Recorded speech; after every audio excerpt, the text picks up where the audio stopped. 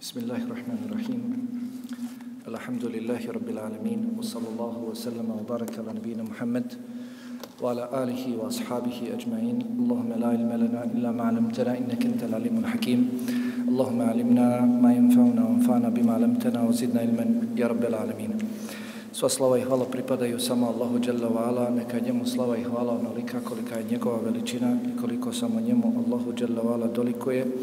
Neka je salavat i selam na njegova poslanika i miljenika Muhammeda Mustafa sallallahu alaihi wa ala alihi wa sallam, na njegovu časnu porodicu, sve ashabe i sve one koji ga slijede dosljedno do sudnjega dana. Allahu dželavala na početku i na kraju ponizno i pokorno se vraćamo i svjedočimo da nemamo drugog znanja osim onog znanja kojeg nam on, Allah dželavala podari svoje dobrote, blagodati i milosti, pa ga molimo subhanahu wa ta'ala da nam tu svoju dobrotu, blagodat, milost prema nama poveća, da nam podari korisno znanje, znanje od kojeg ćemo se okoristiti, svoj život popraviti, a doista je Allah subhanahu wa ta'ala sve znajući, sve mogući i mudri. Prošlog četvrtka bilo je govora o Allahovom zadovoljstvu da nam glavna briga bude Allahovo zadovoljstvo. Ahiret i ono što nas čeka vjernike kod Allaha subhanahu wa ta'ala. Jedna od velikih istina koju svjedočimo, kojoj prije svega svjedoči brojni kuranski ajeti, zatim hadisi Allahov poslanika alihi salatu wasalam, a i mi smo svjedoci tome. Svjedoci smo tome, međutim, rijetki među nas među nama su oni koji se pripremaju za nju. A to je smrt. A to je smrt. Dakle, početak našeg ahireta. To su trenuci koje ne može ni jedan od nas da izbjegne. Najbolji ljudi naprotiv kod Allaha subhanahu wa ta'ala okusili su smrt. I sve jedan od nas zasigurno će okusiti smrt. I definitivno i mi smo svjedoci toga a o tome govori i sunnet Allahovog poslanika alihi salatu sam za dunjalučke brige, za sve ono što nas nalazi na dunjaluku, zasigurno jedan od najboljih lijekova kako riječiti te brige jeste sjećanje na smrt. Kao što je rekao Allahu poslanik alaihi salatu wasalam, udkuru hadim ledat. Sjećajte se, prisjećajte se onoga što prekida sve slasti i strasti. Nikada čovjek neće u tegobi prisjetiti se smrti, a da mu ta tegoba neće postati posle laka. I nikada čovjek se neće u blagostanju prisjetiti smrti kada se počne uzdizati sa tim blagodatima koje je imao, a da ga sjećanje na smrt neće spustiti. Dakle, zasigurno sve jedan od nas će osjetiti smrt. I sve jedan od nas treba da se priprema za smrt. Poslanici okusili su smrt i smrtne muke svih nas, kao što su i njih, bit će teške. Sjećate se i sjetite se smrti Allahovog poslanika Muhammeda sallallahu alaihi wasallam, koji je bio najbolji Allahov rob, najbolje Allahovo stvorenje. Okusio je smrt, kao što kaže Jalla vala, inneke mejitun, va innehu mejitun. O Muhammede, ti si smrtnik, ti ćeš umrijeti i oni iza tebe će umrijeti.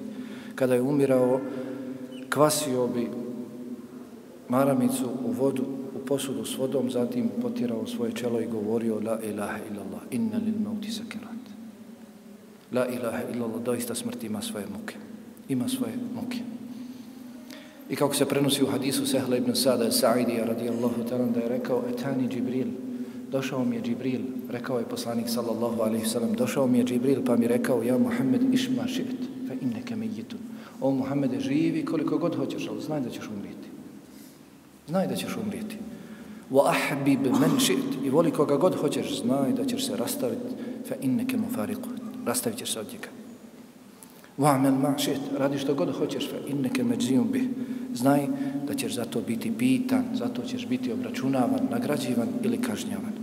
I mi, nakon njih, najboljih Allahovih robova, zasigurno ćemo okusiti smrt poznati su vam kuranski ajeti, tako sura Al-Anbiya i druge sure, kullu nefsim da iqatul maut. Svako živo biće će okusiti, jesti, kušati smrt. Kullu men alejha fan, sura Ar-Rahman. Sve što je na zemlji prolazno i proći će. I za ove trenutke, braćo, trebamo se pripremati. Kada nam nastupi smrt, niko od nas neće moći odgoditi. Niko od nas je neće moći odgoditi. Sjetite se riječi učenjaka Hatima ala kada je spomenuo četiri riječi, rečenice, sve jedna u sebi nose ogromne pouke i poruke, između njih rekao je i saznao sam da će mi smrt doći iznenada. Niko od nas ne zna kada će mu smrt doći. Kaže i saznao sam da će mi smrt doći iznenada, pa sam požurio da je dočekam. Pa sam požurio da je dočekam. Zato trebamo žuriti da dočekamo smrt. Kada nam nastupi, nećemo i moći odgoditi. Ovo je velika istina. I svi svjedočimo. Gledamo kako smrt, kako melek smrti dolazi komšijama na vrata. Jedan za drugim odlaze. Svaki dan se klanjaju dženaze. Danas jednog nosimo, sutra, će, sutra ćemo mi biti koji će nositi. Zato se trebamo pripremati, braćo.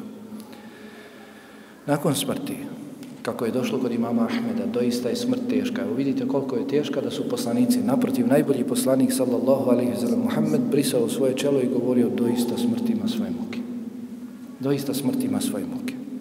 Nakon smrti, kako je došlo kod imama Ahmeda, rahimahullahu telu njegovom usnedu, doista je smrt teška, ono što dolazi nakon nje još teže. Doista je smrt teška, ono što dolazi nakon nje još teže, pogotovo za nevjernike, pogotovo za grešnike, oholnike i nađije.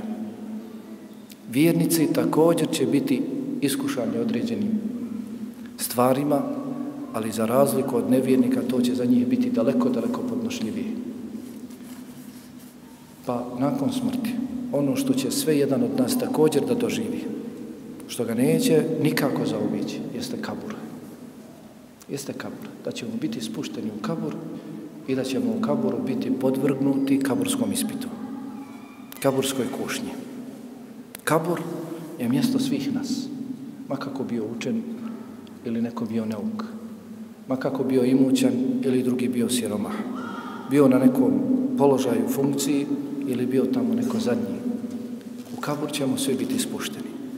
U kabur ćemo svi biti spušteni u ovakvom stanju u kakvom jesmo sada, a zatim kroz par dana, samo kroz par dana počeće se naša tijela da se troše i troše i troše, izjedaju dok na kraju ništa od njih ne ostane.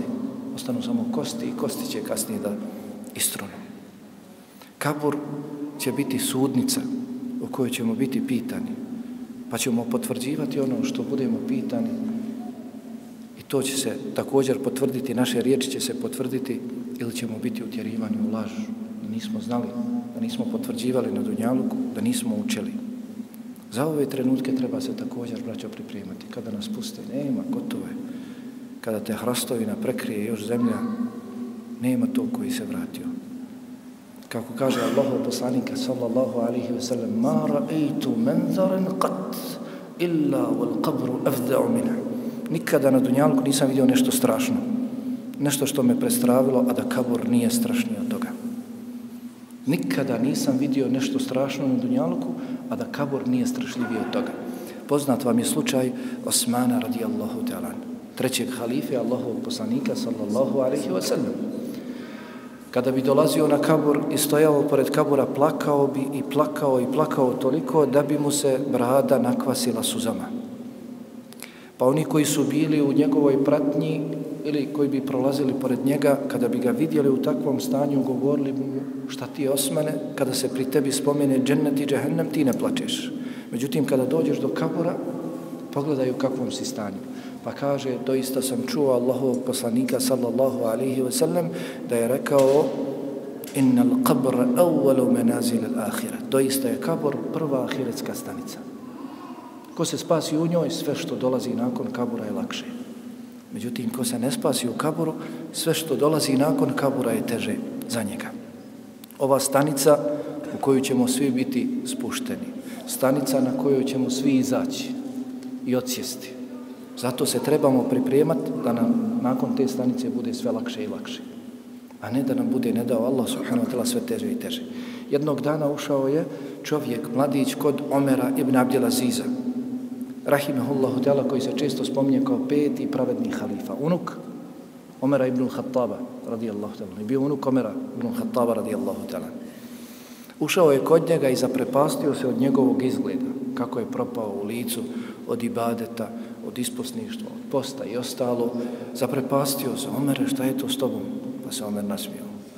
Kaže, da me vidiš samo tri dana nakon što me spuste u kabor. Možeš otvoriti kabor, pa da me vidiš samo tri dana nakon što me spusti. Kroz tri dana da me vidiš. Kada vidiš kako su moje oči ispala i kako curen iz moje obraze. Da vidiš kako su mi se usta otvorila i usne razvalile, razvole. Da čuješ kako se iz moga stomaka širi neugodan miris. Kako mi iz mojih nozdrva izlaze crvi i mravi, onda bi se zaprepastio više. Samo tri dana. Da me vidiš nakon što me spuste u kabor. Zato, dakle, za ovo se trebamo pripremati. Nama, čim se spustimo u kabor, dešavaće se određene stvari, neće mimo ići nikoga. Zasigurno. Bili ste vjerovatno nekada u potpuno mračnoj sobi. Ništa se ne vidi, ništa se ne čuje. Potpuna tišina, prestravljujuća tišina. Da te neko u toj tišini zovne, ne znam ti kako, lijepim glasom ti bi se prestravio. Da ležiš u potpuno mračnoj sobi, tišina potpuna, ništa se ne čuje, što kažu ni moha, da te neko zovne, ne znam ti kako, prestravio bi se. Pa stoji u predanjima, kada budemo spušteni u kabur. i mi vjernici vjerujemo ovo, vjernici trebaju da vjeruju u gaib. Jel tako? Zar nije gaib spomenut kao prva osobina vjernika? Elif lamim, zalike el kitab, la rajbe fi, huden lil muttaqin, alladhine ju'minune bil gaib. Prva osobina vjernika koja je spomenuta u Allahove knjizi jeste oni koji vjeruju u gaib. Kažu islamski učenjaci, vjernici gledaju gajb. Kako? Kao što gledaju, gaj, kao što gledaju dunjaluk, a gajb je dakle ono sve što je sklonjeno od naših očiju, i ostalih čula, a o čemu smo obaviješteni kroz šarijatske dokaze, kroz Kur'an, kroz hadis, o tome smo obaviješteni, sklonjeno je od naših očiju, od naših ušiju, od naših ruku, ne možemo dotaknuti i slično, to je gajb. Kažu učenjaci, vjernici, istinski vjernici, oni koji su ubijeđeni, gledaju gaib svojim srcima kao što gledaju dunjaluk svojim očima. Kao što gledamo dunjaluk svojim očima i vidimo šta nam se dešava na dunjaluku svojim srcima, oni koji su ubijeđeni vjernici, gledaju ono o čemu su obavješteni od gajba. Pa ove stvari će nam se zasigurno dešavati. Spominje se kada nas naša braća, naša djeca, naši prijatelji spuste u kabur. Poduplaju i zemljom i daskama. I odu. Mi čujemo topot njihovi stopala kako odlaze. Spuštali ste vjerovatno nekoga u kabor. Vidjeli ste kako je kabor tijesan i kako je ispod onih dasaka taman, mrk. Zamisli sebe. I ovim stvarima trebamo slušati svojim srcima, ne svojim ušima. Da ćemo i ja i ti biti spušteni u takvu tamu i takvu mrklu i potpunu tišinu. Pa spominje se u predanjima kada budemo spušteni i u potpunosti zagrnuti i odu zadnji s naše kabura, da će nam se kabur obratiti pa će nas kabur dozvati. Pa onaj koji bude vjernik, jeste, prestravit će se i on. Jer kad te iz takve tišine neko zovne, prestravit ćeš se. Međutim, vjerniku će se reći merhaben vo ehlen. Dobro nam došao. Blagoli se tebi kod nas. Dobro nam došao. Dočim nevjerniku će se reći la merhaben wala ahlan. ehlen. Nema tebi kod nas dobrodošlice, teško li se kod nas. Hm. Pa za ove trenutke trebamo se još sada pripremati, da nam se kaže merhaba, merhaba, ehlen, ehlen. A ne da nam se kaže nema tebi dobrodošlice kod nas, teško li se tebi kod nas. Bilježi Ibn Abi Šejbe u svome Musannefu od Umeira Ibn Ubejda, rahimehullahu tala, da je rekao, kabur će reći čovjeku, o sine Ademov, šta si pripremio za mene? Šta si pripremio za mene? Zar nisi obaviješten Zar nisi znao da sam ja kuća usamljenika, napuštenih, oni koji će biti sami, koji će biti napušteni, koji će biti ostavljeni? Zar nisi obaviješten o meni da sam ja kuća koja izjeda, kuća čiji su stanovnici crvi? Bilježi Ibn Mubarak sa vjerodostim lancem prenoslaca također do Sejda Ibn Abdirahmana da je rekao do mene je došla vijest prenešeno nam je od poslanika sallallahu alaihi sallam, saznao sam da vjernik kada umre, pa se prene, ponese prema kaburu, kada se vjernička dženaza ponese prema kaburu, da se ukopa do mjesta gdje će biti ukopano, kaže požurite sa mnom, požurite sa mnom. Pa kada bude spušten u kabur, zemlja će mu reći doista si nam bio drag dok si hodio po nama. Hodao po nama, po zemlji. Sada si u nama, sada si nam još draži. Sada si u nama, sada si nam još draži. A kada nevjernik umre pa se ponese do mjesta gdje će biti ukopan, znaš šta ga čeka? Dobrim dijelom svi ćemo mi biti na samrti obavješteni. Vidjet ćemo. Jer na različit način u hadisu Bara ibn Adiba radijallahu tan se spominje kako dolaze meleki vjerniku, kako dolaze nevjerniku. Kako se uzima duša vjerniku, kako se uzima nevjerniku. I ostalo. Pa ćemo od prilike na svojoj samrti vidjeti šta nam se sprema. Pa nevjernik kada se ponese do mjesta gdje će biti ukopan, reći će ne žurite sa mnom, ne idite, vratite me, kuda idete sa mnom? Pa kada bude spušten u kabur, zemlja će mu reći bio si nam mrzak dok si hodio po nama. Bio si nam prezren dok si hodio po nama, sad se nalaziš u nama, sada si nam još gori. Sad se nalaziš u nama, sada si nam još gori. Također bilježi Ibn Mubarak od Ubejda Ibn Meira da je rekao kabur će se prvi obratiti čovjeku. Kabur će biti taj koji će prvi progovoriti. S njim će razgovarati još mnogi. Pa kabur će biti prvi koji će se obratiti čovjeku i reći teško li se tebi o sine Ademov. Zar nisi upozoren na mene? Zar nisi upozoren na moju tjeskobu? Zar nisi upozoren na moju tamu, na moje tmine, na moj smrad, neugodan miris i na moje strahote koje ćeš doživjeti u meni? Dakle, za ove trenutke trebamo se, braćo, pripremati. Zatim, inša Allahu ta'ala i kao vjernik, pa ti se kaže merhamen wa ahlan, ahlan, ahlan. Čovjek će se prepasti kada te neko dozove. Samo dok ti se te riječi kažu i ti se dobrodošlica, primijetit ćeš da se dešava nešto drugo. Šta je? Obavješteni smo o tome. Pomjeraju se zidovi kabura s desne i s lijeve strane polahko ti se primiču zidovi kabura. Nemoj da neko kaže sada kada bismo čovjeka spustili i pratili kabur, on se neće pomjeriti. Mi vjerujemo u to. Gaib se ne može vidjeti okom, zato se zove gaib. Mi vjerujemo u to. I vjerujemo kao što vjerujemo svojim očima čak i više kada gledamo jedni druge. Jer smo o tome obaviješteni u vjerodostojnim hadisima. Evo pogledajte, čovjek živi s nama na Dunjanku zajedno, spava. Dvojica da spavaju u isto vrijeme, u istoj sobi, jedan pored drugog. Jedan se probudi, samo nasmijan i kaže, kud se probudi, što još nisam spao. Uživao. A drugi kad se probudi, sav uznoju. I zahvaljuje se što se probudio. Jedan pored drugog. Mi ne vidimo. Oni su mnogo šta do, doživljavali. Čak pogledajte čovjeka na umrlu koji živi dunjalskim još uvijek životom. Još uvijek živi.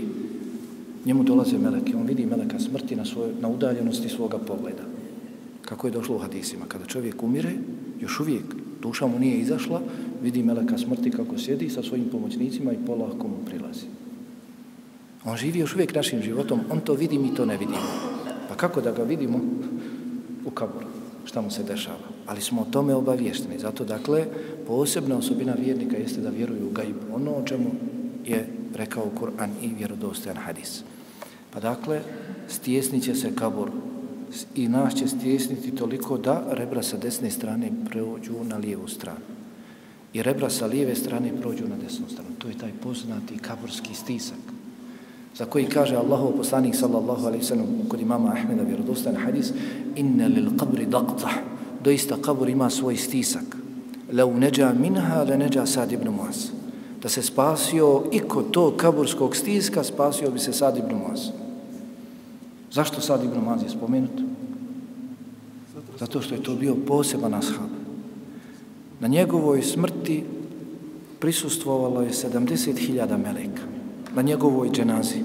70.000 meleka mu je klanjalo dženazu. Sva nebeska vrata su mu otvorena. Da se uzdigne, da meleki uzdignu njegovu dušu na koja god vrata. I zbog njegove smrti zatresao se arš milostivog. Arš milostivog. Međutim, ni on se nije spasio kaburskog stiska. Kako bilježi imam Taberani također, spominje se jednog dana da je bila dženaza djetetu, bebi, djetetu, pa je spuštena, zagrnuta i kaže poslanik sallallahu alaihi sallam rekao da se iko spasio kaburskog stiska, spasilo bi se ovo djete. Da se iko spasio kaburskog stiska, spasilo bi se ovo djete. Muškarac, žena, stari, mladi, svako od nas će doživjeti taj kaburski stisak. Međutim, kao što će se vjerniku reći, merhaba, dobro nam došao, nevjerniku, lošem čovjeku, zlom čovjeku reći, nema tebi dobrodošlice kod nas, isto tako razlikuje se stisak vjernika i stisak nevjernika. Pa Muhammed Tejmi, rahimehullahu ta'ala, pojašnjava prije svega zbog čega taj stisak. Zašto je Allah dao da budemo stisnuti u kaboru? I kako će kabor stisnuti vjernika, kako će stisnuti nevjernika? Pa kaže, naša osnova, ono u čega smo stvoreni je zemlja. Stvoreni smo od zemlje. Pa smo došli na ovaj dunjaluk i zaboravili tu osnovu, tu svoju majku. Pa kada budemo spušteni i vraćeni svojoj majci u zemlju, kao što na dunjalku kada dijete ode, ne znam, na školovanje i nema ga godine i godine, i vrati se majci, majka ga dočeka širokih, raširenih ruku, pa ga stisne, pa ga privije, pa ga stisne, jeli u svojoj grudi, u svoje naručje, stisne ga jako. E kažu isto tako. Stvoren, stvoren si od zemlje, kada budeš vraćen u zemlju, majka će te zagrliti. Međutim, kaže, vjernika će zagrliti blago, kao što i na Dunjaluku majka koja voli svoje dijete, neće ga da mu podrobi koste. Vjernika će stisnuti blago, dok će nevjernika stisnuti žestoko, srdeći se na njega. Zatim, dakle, inša Allahu kao vjernik preseliš, pa te kabur blago stisni. Nećete ovo mimo ići. Da ikoga mimo išlo, mimo išlo bi sad Ibn Mazer. Bićeš stisnut, inša Allahu tela blago. Samo što se vrati kabur, dolazi nakon toga sljedeći belaj, sljedeće iskušenje. Šta je? Vrati se u svoje normalno stanje i ti misliš laknulo je, gotovo, nema, sve prolazi, nakon toga osjetit ćeš da neko u kabru ima s tobom. Imali ste vjerovatnu priliku da se nalazite u nekoj prostoriji, ne vidite, ali osjetite da je neko s vama. Ne znam, ležite, probudite se, ne čujete nikoga, ne vidite nikoga, tamno je u sobi, ali osjetite da neko ima. Pa ćeš onda vidjeti da nekoliko očiju gleda u tebe. I to posebnih očiju. Kako je došlo u predanjima, čiji je pogled poput svjetlice, probija. Munkir i nekir. Munkiri i doće svima nama zbog posebne zadužbine. I stoji u predanjima njihov opis. Kako kažu učenjaci, da se pojave pred ljude, da dođu u Sarajevo, da dođu u neko selo, naselje, ljudi bi pomrli od straha da ih vidi. Kažu, kako li će meni i tebi tek biti kad nama dođu samima, nama samima, mi sami bespomoćni tamnih lica, izgleda tamnog, dugih kosa. Kažu glas poput grmljavine kada grmi, a pogled poput svjetlice kada sjeva. Imaju velike zube i velike nokte. Kažu da se pojave u nekom selu, u nekom gradu, ljudi bi umrli od straha da ih vidi. Kako li će meni i tebi tek tada biti? Dolaze zbog posebnog i to je ono ako položimo taj ispit, nakon tog ispita dolazi sve bolje i bolje. A ako ne položimo taj ispit, nakon njega dolazi sve gore i gore. Međutim, braćo, ne znam, sestre, da li čuju, ovo je ispit u kojem nema popravnog. Ovo je ispit u kojem nema popravnog.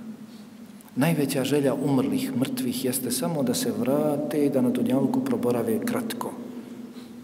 Dan, dio dana, trenutak, samo da proborave. Nema. Ko umre, kao što je rekao Allah subhanahu wa ta'ala, ja sam zapisao da se oni ne vraćaju. Ja sam odredio da se oni ne vraćaju. Umrli da se ne vraćaju na dunjalog. Dolaze zbog posebnog ispita, koji se sastoji samo od tri pitanja. Kratka, jasna pitanja.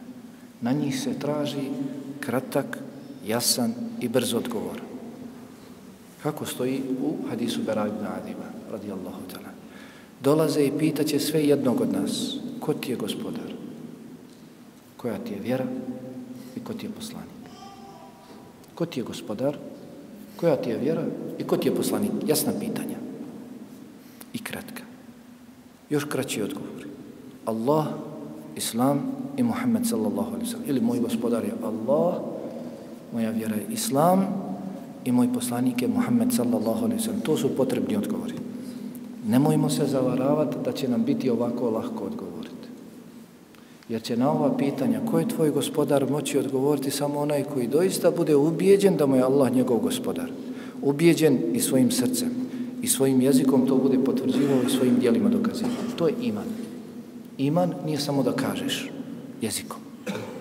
Već prije svega, dakle, mora da ima čvrsto ubjeđenje u srcu, da to potvrdiš šehadetom i još da potvrdiš dijelima. Bez dijela nema imana. Bez dijela nema imana. Onaj koji bude ubijeđen u svoga gospodara na Dunjaluku, taj će moći odgovoriti moj gospodar je Allah. Kao što Allah subhanahu wa ta'ala i kaže يُثَبِّتُ اللَّهُ الَّذِينَ آمَنُوا بِالْقَوْلِ ثَابِتِ فِي الْحَيَاتِ دُنْيَا وَفِي الْآخِرَ Allah će vjernike postojanom riječju učvrstiti na Dunjaluku i na Ahiretu. Iđma mu fesirin. Jednoglasno mišljenje učenjaka, komentatora Allahove knjige kažu ovaj ajet odnosi se na kabur. Ovaj ajet, kada se spominje ono fil ahire i na ahiretu, odnosi se na kabur. Allah će postojanom riječu učvrstiti vjernike. Oni koji su bili vjernici, istinski vjernici na Dunjalku. Koji su na Dunjalku spoznali svoga gospodara i samo njega obožavali. Koliko poznajemo svoga gospodara? Koliko smo upoznali svoga gospodara? Koliko ga obožavamo? Koliko u našim dijelima, pogotovo tajnim, ima za nekoga drugog?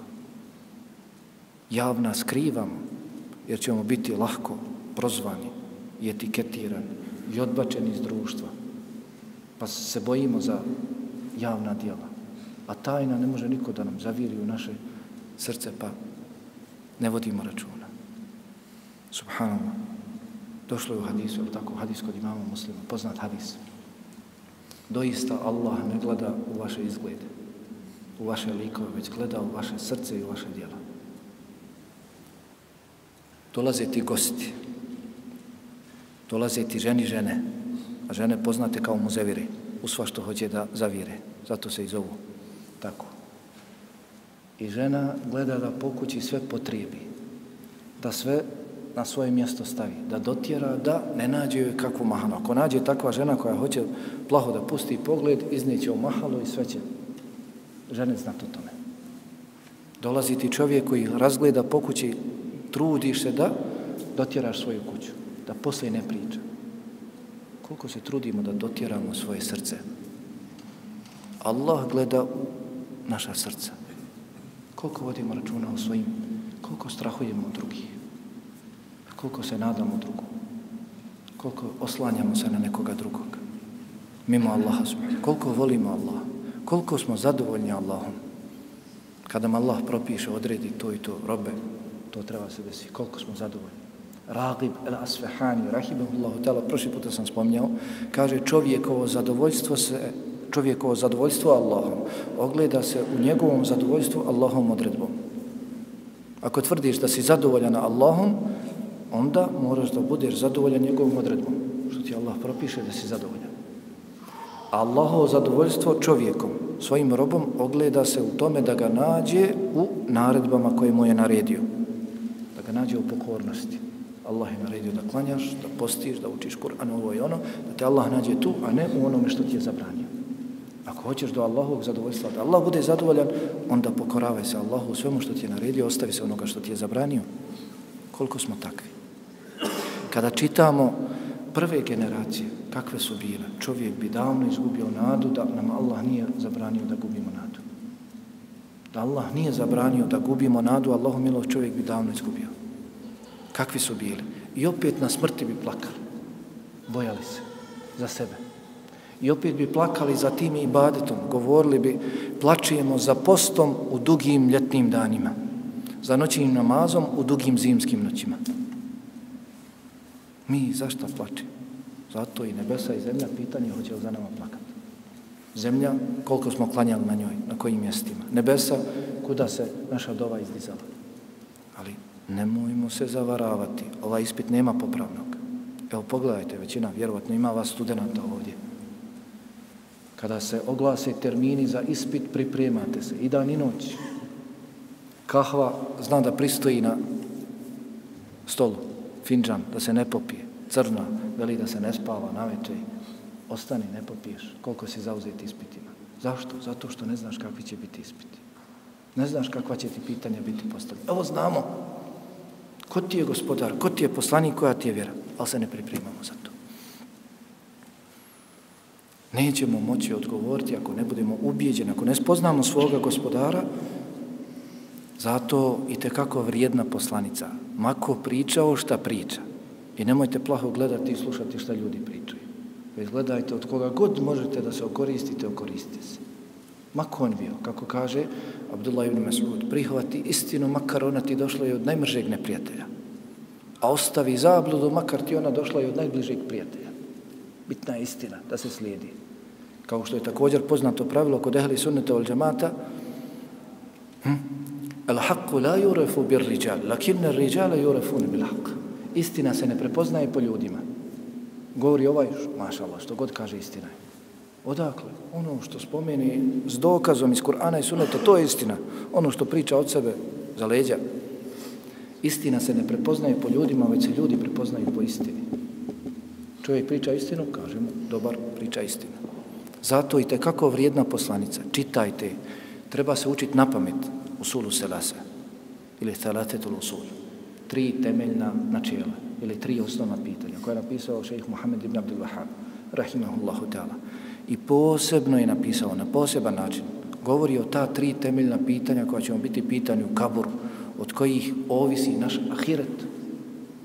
Napisao nam je da znamo na Dunjalku, jer se na Dunjalku moramo pripremiti za njih. Ko je tvoj gospodar, koja je tvoja vjera i ko je tvoj islam. Pa tamo kaže, ako budeš upitan ko je tvoj gospodar, reci Allah. Dobro, ko je Allah? Allah je onaj koji je stvorio mene i sve ljude. I onaj koji održava mene i sva stvorenja koji ukazuje blagodati meni i svim drugim stvorenjima. Dobro, kao takav koji te stvorio i odlikuje te blagodatima, šta je on još? Vohu je ma'budi, valejse li ma'budun siva, on je moj jedan jedini istinski Bog, koga obožavam i nema. Zašto? Zato što onaj koji nas je stvorio, koji nas je doveo na ovaj svijet, ima neko drugi da nas može stvoriti? Ima li neko drugi da može učiniti da nas dovede na ovaj dunjaluk i da se spominjemo nakon što se nismo spominjali, da nam podari sve ove blagodati, da nas neko tako skladno stvori, pa eto što ne stvori kada govori da Allah nije stvoritelj, što ne stvore za ovo svo vrijeme. Pa sve nam tolike blagodati, wa in ta'uddu ni'matallahi la tuhsu. Ako biste brojali Allahove blagodati, nikada ih ne biste mogli nabrojati. Koliko nam je Allah dao blagodati? Kako kaže Ibn Kathir, onaj koji je stvorio to, jedini on zaslužuje da se obožava. Ako ima neko drugi da stvori, bojro, neka stvori. Ali nema. Allah subhanahu wa ta'ala jedan jedini to sve stvara i on jedan jedini je istinski Bog dostojan obožavanja. Pa A dobro, kako si spoznao svoga gospodara? Kako da ja upoznam da je moj gospodar onaj koji me stvorio Allah? I da je on jedan jedini moj istinski Bog? Pa kaže, ako te neko upita kako si upoznao svoga gospodara, reci upoznao sam kroz njegova stvaranja, kroz njegova stvorenja, ono što je on stvorio, u nama samima i oko nas, sunce, mjesec, nebesa, zemlja, noć, dan, pogledajte, u tome su ajati za razumni, u tome su dokazi postojanja Allaha subhanahu wa ta'ala za one koji su razumom obdareni. Sunce i mjesec, pogledajte kako jedno drugo smjenjuje. Noć, dan, kako jedno drugo smjenjuje. Ne mogu jedno, kao što stoji u suri Eli Jasin, ne može noć preteći dan, niti dan preteći noć, već oni u svemiru plove, sunce, mjesec, nebesa, zemlja. Ko nam je tako zemlju učinio pogodnom za stanovanje, za hodanje? Nebesa iznad nas izvi, visoko digao. Ima li gdje stubova, da vidimo te stubove? Da neko sagradi nam te stubove. Allah subhanahu wa ta'ala sve to održava. On jedini. Također, kroz šta upoznajemo svoga gospodara, kroz njegove riječi, kroz njegovu knjigu. Trećina Kur'ana govori o Allahu čitajmo Kur'an pa ćemo spoznati svoga gospodara. Dobro, samo to kažeš, tvoj gospodar je Allah, on je tvoj jedan jedini istinski Bog, spoznao si ga tako i tu se završava. Ne, već dalje kaže, čini mu ibadet, samo njemu, ali ja dakle i dijelima dokazati, ne samo jezikom priznat, već i dijelima, samo njemu činim dovu, samo njemu pućujem dovu, samo od njega strahujem, samo se njemu nadam, samo se na njega oslanjam, samo njemu prinosim žrtve. Kul inna salati wa nusuki wa mahyaya wa mamati lillahi rabbil alamin. Reci i moj namaz i svi moji ibadeti i moj život i moja smrt posvećeni su samo Allahu jer je jedini on dostan toga. Dakle, moramo upoznati svoga gospodara. Prošli puta sam govorio i nekoliko navrata govorim da nam neko sada uđe i kaže momci samo pet minuta o Allahu mi pričajte. Ko je tvoj gospodar? Kome padaš na seždu? Rijetki su od nas oni koji bi to mogli. Samo pet minuta. Halo, da ti se kosa na glavi digne. Ne znaš svoga gospodara, kome padaš na seždu? E, zbog toga je naša vjera ovakva. Jedan korak naprijed, 20 nazad. Jedan korak naprijed, 20 nazad. Zato vidimo među muslimanima ovakvo stanje što se tiče vjere. Ne znaju svoga gospodara. A niko nije upoznao gospodara da ga nije zavolio. Ako zavoli Allaha, zasigurno sve će dat za njega. Sigurno će ga obožavati. Što god mu Allah naredi, zna da mu je naredio to radi njegove koristi. Allahu dželle ništa nije potrebno. Sve što je propisao od naredbi, od dobroga i sve što je zabranio od zla, sve to radi naše koristi. Pa nećemo moći odgovoriti na pitanje koja je tvoja vjera islam sve dok Allaha dželle ne budemo obožavali tom vjerom islamom. Jer je on rekao inne dina inda Allahi islam. Kod Allaha je jedina vjera islam. Allahu je prava vjera jedino islam. Umen jebteli gajra l'islami dina fele yukbele min. Onaj koji bude tražio neku drugu vjeru, mimo islama, ona mu neće biti primljena. Neće vam moći odgovoriti moja vjera je islam ako ne budemo živjeli islamom. Ako ne budemo svoje strasti počinili islamu, onim sa čime je islam došao. A ne od islama uzimali ono što odgovara našim prohtjevima. Ti ne slidiš islam, ti slidiš svoje prohtjeve. Ti nisi musliman. Musliman je ko? Onaj esleme yuslimu u arapskom jeziku. U arapskom jeziku, dakle, kada se tamo spominje jezičko značenje, lingvističko značenje riječi esleme yuslimu, islamen vo muslimen, znači onaj koji je predan, pokoran, neko uzme pušku u tebe i kaže tako i tako, ti se predaš i što god zatraži od tebe, jest, ja ću raditi. Ako hoću da živim, ako hoću da ustanemo, ostanemo životu, što god mi kaže. Ako hoćeš da imanski živiš, da islamski živiš, onda što god ti Allah naredi, ako hoćeš da budeš musliman, onda moraš da se predaš tome. I nećemo moći odgovoriti da je naš poslanik Muhammed sallallahu alaihi wasallam, osim ako ga ne budemo slijedili na dunjavku. Danas se ljudi smijavaju na pojedinim mjestima, čak i u Bosni, kada čovjeka spuštaju u kabur, na papiru napišu, ako te upitaju ko je tvoj gospodar, reci Allah. Ako te upitaju koja je tvara vjera, reci Islam. Ko je tvoj poslanik, reci Muhammed. Smijavaju se. Neće moći pročitati. Zasigurno. Odgovorit će samo onaj koji bude ubijeđen. Spominje se u podužem hadisu kada je poslanik sallallahu alaihi sallam pričao o ovome ispitu Omeru. Pa upitao kako li će Omere biti tvoje stanje kada te upitaju. Kaže Omer, ću ja biti ove pameti? Koje sam sada? Kaže, hoću. Kaže, pitać ja njih, znate li vi ko je vaš gospodar? Omer dobro zna ko je njegov gospodar. Ali to je bio Omer. To je bio Omer. Kada čitate o njegovom životu, razum vam zastaje. Kakav je bio? Omer radijallahu ta'ala. Nećemo zasigurno, braćo, moći od, odgovoriti na pitanje ko je vaš poslanik ako ga ne budemo slijedili. Ako on jedini bude, dakle, naš imam, vođa, onaj koga slijedim, ostavim sve druge. Sve druge slijedim samo ukoliko oni slijede poslanika Muhammeda sallallahu alaihi Ukoliko se oni razlikuju, čuvam vašu čast, uvažavam vas, ali ne slijedim vas poštojem, neću kaljati vašu čast, neću o vama pričati, ali onaj koji ne slijedi Muhammeda sallallahu alaihi sallam, i on se ne slijedi. I on se ne slijedi. Ka inan men kan, bio ko bio. Sva četverica imama su govorili, moj mezheb je, moj mezheb je hadis. Hm. قال أبو حنيفة الإمام لا ينبغي لمن له الإسلام أخذا بأقوال حتى تعرض على الحديث والكتاب المرتدى Imam Ebu Hanife, rahimahullahu ta'ala, je rekao ne priliči ni jednom muslimanu da se prihvati mojih riječi, ono što ja kažem, mojih stavova, mojih mišljenja, sve dok moje stavove mišljenja ne uporedi sa kitabom i sa hadisom s kojima je Allah jedino zadovoljan.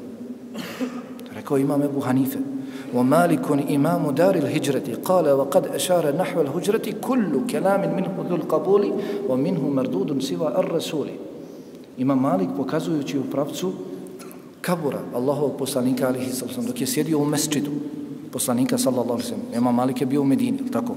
I pokazujući prema kaburu Allahovog poslanika alihi sallam kaže od svakog čovjeka se uzima i odbacuje. Od vjere. Uzima, potvrđuje i odbacuje osim od stanovnika onog kabura. Od njega se sve uzimalo. Od nas vas petog, desetog uzima se, odbacuje uzima se ono što je u skladu sa kitabom i sa sunetom što nije uz dužno poštovanje ostavlja se. O šafi'iju kale irra ejtumu qavli muhalifan lima ravajtumu min al hadithi fadribu al džidare bi qavli al ahbar. Imam Šafija kaže učenjacima hadisa koji pišu hadise, ukoliko vidite da ono što ja kažem moje riječi, moji stavovi, moja mišljenja, razilaze se s onim što vi pišete od hadisa. Ja kažem jedno, a vi ste zapisali hadis od poslanika, sallallahu alaihi sallam, drugačije, onda moje riječi odzite. Imam Šafija je to rekao. A za imama Šafija je rečeno, imam Šafija je ovo umetu što je sunce za ovaj dunjavog. Imam Šafija kaže, vidite da se moje riječi razilaze sa hadisom koji pišete hadis. Moje riječi odzit. Hadisa se prihvati. Wa Ahmedu kale lehum la tektubu, ma kultu bel aslu dali tlubu. Imam Ahmed kaže e, učenicima svojim, nemojte pisati od mene, već se vratite i uzmite odakle sam ja uzio. Uzmite hadise prihvate se hadisa. Zato, dakle, moći ćemo odgovoriti moj poslanik je Muhammed sallallahu alaihi ve sellem samo ako ga budemo slijedili. Ono što je prenešeno od njega, od njegovih riječi, da nam je poručio, ili od njegovih dijela. Zbog čega je došao u braću? Zbog čega ga je Allah poslao, odabrao? Također čitajte ovu poslanicu kada govori o Muhammedu sallallahu alaihi sallam. koji je tvoj poslanik? Prelijepo govori. I odabrao je šeheh Muhammed ibn Abdul Wahab rahimahullahu ta'ala ono pored čega čovjek neće ostati ravnodušan. Odmah će zavoljeti poslanika Muhammeda Allahov poslanik sallallahu alaihi sallam je najboljeg roda. Je tako? Porijekla. Najboljeg porijekla rođen u, najbolj, u najboljem mjestu, centru svijeta. Pogledajte koliko mu je Kabul Allah dželavala dao. Koliko je njegovog ummeta. Zar nisu došli brojni hadisi u kojima se spominje da je dvije trećine dženneta za ummet Muhammeda alihi salatu wasalam. Jedne prilike kažu, sjedli smo u mesčidu s poslanikom sallallahu alaihi sallam pa, pa je nam je rekao jeste li zadovoljni da vam pripada jedna trećina dženneta? Pa kaže, rekli smo, Allahu akbar, la ilaha illallah. Počeli smo tekbiramo. Kaže, jeste li zadovoljni da vam polovina dženneta pripadne? Polovina dženneta, da vi budete stanovnici. Pola dženneta. Allahu akbar, la ilaha illallah. Počeo smo tekbiramo. Kaže, vama pripadaju dvije trećine dženneta. To nije dato. I pogledajte, kratak život. Nuh, alihi salusom, 950 godina poziva. Odazvalo mu se vrlo malo. Muhammedu sallallahu alaihi sallam za 23 objavljena mu najbolja knjiga, najodabranija knjiga koja će ostati i svjedočiti protiv nas, ostaće do sudnjega dana i mnogo šta drugo. Zbog čega čovjek treba da se prihvati Muhammeda sallallahu alaihi sallam sve druge ostavi po strani.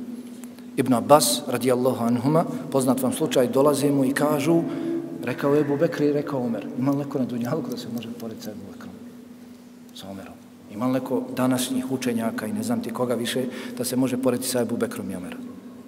Ebu Bekr, kako je došlo u musnedu kod imama Ahmeda, kada bi se na jedan tas vage stavio iman Ebu Bekra i oni koji ocjenjuju hadise kod imama Ahmeda njegovom musnedu kažu da je hadis vjerodostan. Kada bi se na jedan tas vage stavio iman Ebu Bekra, a na drugi tas vage iman cijelog ummeta Muhammeda, a.s. to sudnjega dana. Svi ljudi, njihovo vjerovanje prevagnuo bi tas sa imanom Ebu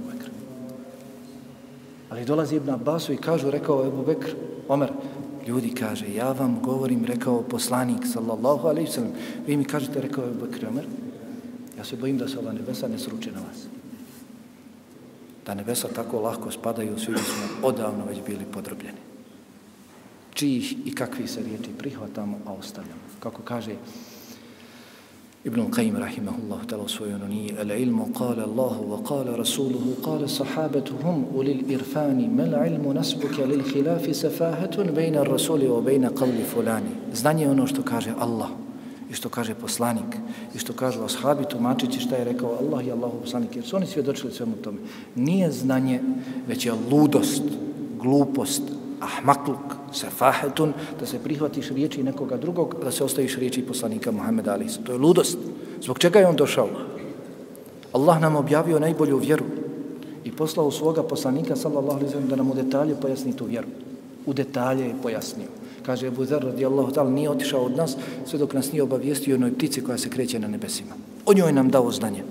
Kada je o njoj, onda je zasigurno u svakom pitanju vjeru dao znanje. Ma farratna fil kitabi min šeica. Nije došlo, mi u knjizi ništa nismo izostavili. Sve smo pojasnili.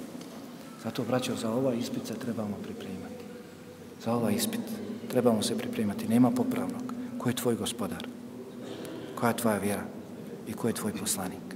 Danas trebamo tražiti na dunjavku odgovore na ta pitanja i biti ubijeđeni u njih. Sve svoje dati, žrtvovati, da budemo ubijeđeni ova pitanja, da dokazujemo i svojim srcem, i svojim jezikom, i svojim dijelima. Nakon toga, onaj koji odgovori uspješno, otvorit će mu se s jedne strane kabur i pokazati mjesto u džehennemu, u vatri. I reći će mu se, ovo je bilo mjesto koje te čekalo da si bio nepokoran Allahu. Ovo je bilo mjesto pripremljeno za tebe. Pa će se nad, s druge strane otvoriti i reći, ovo je sada tvoje mjesto koje te čeka. Zato će nakon tada, kada vidi svoje mjesto vjerniku džennetu, reći, gospodaru, požuri sa sudnjim danom. Požuri da nastupi sudnji dan. Jer je vidio svoje mjesto koji ga čeka i kojeg se spasio. Dočim onaj koji ne odgovori na ova pitanja. Ko je tvoj gospodar? Koja je tvoja vjera? Ko je tvoj poslanik? Pokazat će mu se s jedne strane kavura mjesto u džennetu. Pa će mu se reći, ovo te mjesto čekamo. Ovo te mjesto čekalo da si bio pokoran. Nakon toga pokazat će se drugo mjesto i reći, ovo je sada tvoje mjesto u džehennemu koje te čeka. Sada te čeka. Pa će reći gospodaru, ne dozvoli da nastupi sudnji dan. Nakon toga, vjerniku i nevjerniku, dobrom i lošem, dolazi sudrug, prijatelj koji ostaje s njim do sudnjega dana. Ostaje s njim do sudnjega dana u kaburu. A to je njegovo djelo. Dobro ili loše. Allah subhanahu wa ta'ala će i dobro i loše djelo oličiti, dati u liku čovjeka da dođe sahibi svome, da dođe u kabur. Dobro djelo u liku lijepog čovjeka, bijelog lica, bijele odjeće, namirisan. Loše djelo, grije, doće dakle u liku tamnog čovjeka, mrklog lica, neugodnog mirisa, za udara na sve strane. Možda ste nekada na Dunjavku susreli se s čovjekom, ha, koji zaudara? Iz njega bazdi. Pa minut, dva ili nekoliko minuta bile su vam ko godine. Bile su vam ko godine. Samo ste se osvrtali, hoće li neko doći da vas priželjkivali da vas neko odvoji od njega. Onaj koji bude nevjernik, koji bude grešnik, doći će mu njegov grijeh u liku takvog čovjeka koji zaudara, smrdi. Možete misliti, to nije, dakle, nije minuta ili dvije, bez do sudnjega dana. S njim će boraviti. Vjerniku će doći u lijepom izgledu, bijel čovjek, bijela odjeća, miris na sve strane se širi, pa će mu reći, budi zadovoljan, raduj se Allahom zadovoljstvu, raduj se džennetu i uživanjima u džennetu, pa će vjernik reći u kaburu, ko si ti? Tvoje lice ukazuje na dobro. Ko si ti? Pa će reći, ene amelu kesore. Ja sam tvoje dobro djelo. Od danas izaberimo. Šta želimo? U kakvom liku da nam dođe naše djelo? U lijepom, izgledu lijepog čovjeka ili dakle onoga koji zaudara na sve strane. Dakle, obračunavajmo se, braću. Ovo je ono što nas sve jednog zasigurno čeka. Jeste, živimo na Dunjalku i moramo živjeti i za Dunjalku, ali glavna briga mora da nam bude ahiret. Glavna briga mora da nam bude ahiret, da se zato spremamo. Jer kada nastupi naš ahiret s našom smrću, nema više povratka. Allah dželle vala prejasno kaže: "Ja ayyuhalladina amanu taqullaha wal tanzur nafsum ma qaddamat lighad." O vjernici, bojte se Allaha i neka svaka duša gleda šta je za sutra pripremila. Svako od nas neka gleda, gleda šta je za sutra pripremila. Neka ne kori nikoga drugog, sebe neka kori. Radi što je god moguće više. Upoznaj se, traži znanje. Ne možeš imati iman. Ne možemo imati iman dok ne budemo učili. Kako je rekao imam Buhari, neka ja. Kako je rekao imam Buhari, rahimahullahu ta'ala, el ilmu qabla al qawli wal amali. Znanje dolazi prije riječi i dijela. Ne možeš pričat, ne možeš radit dok ne naučiš. Iman se ne može imati dok se ne nauči. Mora se učiti. Zatim po njemu se treba raditi. Zatim se trebaju drugi pozivati tome. I na svemu tome treba biti čovjek strpljiv. Zato tražimo znanje što je god moguće više. Radimo po tome. Pozivajmo drugi. U svemu tome budimo strpljivi. Ne propuštajmo ništa što god možemo uraditi od dobra. Prošli puta sam rekao, niko od nas ne zna šta ćemo sutra koristiti. Šta mu od dobra može koristiti? Većina nas radi. Možda radi neki zahmetli posao, ali jezik, kako je došlo u hadisu, neka ti jezik vas da bude vlažan od spomena Allaha subhanahu wa ta'ala. Može ti neko to spriječiti? Ne može. Čitajte brojne zikrove. Čitajte zikrove koji se prenose od Allahovog poslanika alihi salavcam, pa ćete spoznati kako je vrijedan taj ibadet. Tako lahak, a toliko vrijedan kod Allaha subhanahu wa ta'ala. Hm. Kaže Allahov poslanik alihi salavcam riječi da kažem subhanallah, alhamdulillah, la ilaha illallah, Allahu ikbar. nam ono uzima puno vremena. Kaže, draže mi od svega onoga što sunce obasija. Subhanallah, alhamdulillah, la ilaha illallah, Allahu ekber, draže mi od svega onoga što sunce obasija. Kod Buhari kod muslima kaže Allahu najdraži govor nakon Kur'ana, a ove riječi su iz Kur'ana, subhanallah, alhamdulillah, la ilaha illallah, Allahu akbar. Zašto su Allahu najdraži? Zašto su poslaniku, sallallahu alaihi sallam, bile najdraži? Hm. Jednog dana dolazi pa trese drvo poslanik, sallallahu alaihi sallam, pa ne spada ništa s njega. Dru, drugi puta trese ništa. Treći puta, nakon nekoliko puta, protresa uspada lišće. Kaže, da kažete subhanallah, alhamdulillah, la ilaha illallah, Allahu akbar, svaka od ovih riječi briše grijehe kao što spadaju, kao što spada lišće svog stabla. Kao što spada lišće. Također, spominje se u hadisu da je Ebu Hurera radijallahu tam sadio sadnicu. Poslanik sam prolazi pred njega. Kaže, Ebu Hurere, šta to radiš? Kaže, sadim. Kaže, hoćeš da ti ukažem na bolje sadnice? Da kažeš, subhanallah, alhamdulillah, la ilaha illallah, Allahu akbar, sa svakom od njih ovim riječima saditi se palma u džennetu. Dođu ti, djeca kažu, efendija, brate, hođa, kako te već zovu, kažu, ja zasadio 500 sadnica. A našoj braći moraš govoriti i govoriti da oni počnu subhanallah, Allah, Allah, Allah, subhanallah, Allah, Allah. Kaže čovjek subhanallah, kaže Allah sadakt, istinu si rekao. Subhanallah se prevodi, kod nas često se prevodi Allah je slavljen, to je manjkav prijevod. Kad se kaže subhanallah, to znači Allah je daleko od svake manjkavosti. Allah je potpun, daleko od svake manjkavosti tesbih, to je tesbih. Kada Allahu subhanahu wa ta'ala negira svaku manjkavost koju mu ljudi pripisuju. Kad kaže rob, alhamdulillah, kaže Allah sadakt, istinu si rekao. Sva hvala pripada samo Allah. Istinu si rekao. Kad kaže čovjek, la ilaha illallah, nema istinskog Boga osim Allah, kaže Allah sadakt, istinu si rekao čovjek kaže Allahu Akbar, Allah je najveći od svega, najveći, kaže Allah, istinu si rekao, stoji u hadisu, ako čovjek nakon toga kaže Allahumma gfirli, Allahumma oprosti mi, kaže Allah, to ću ju raditi.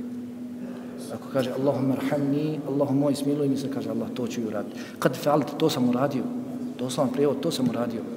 Da čovjek kaže Allahumma rzukni, Allahumma obskrbi me, kaže Allah, to sam uradio. E zato su poslaniku sallallahu alaihi sallam bile najdraže riječi. Draže od svega onoga što sunce obasi. I drugi zikrovi. I drugi zikrovi. Je li tako? Poznati. Zato se pozabavimo. Ništa, dakle, ne propuštajmo od dobra. Prisjećajmo se ovih trenutaka koje nas neće mimo ići. Nijednog od nas. I neka nam one budu, ako Bog da ovi trenuci, neka budu posticaj da bolje iskoristimo svoje vrijeme.